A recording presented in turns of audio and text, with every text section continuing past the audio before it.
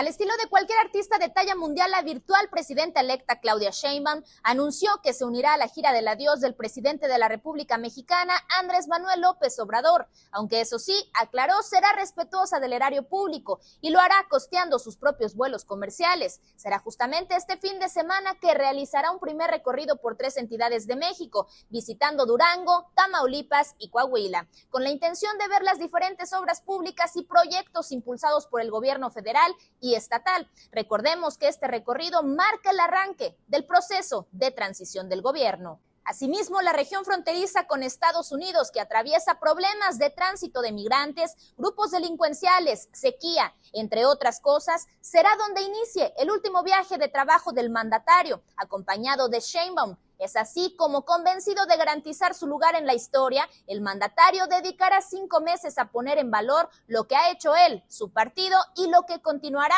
Claudia Sheinbaum. Y es que a pesar de en su momento haber hecho la promesa de retirarse cuando todo acabara, ha decidido exprimir cada segundo de su innegable popularidad en lo que queda de este mandato.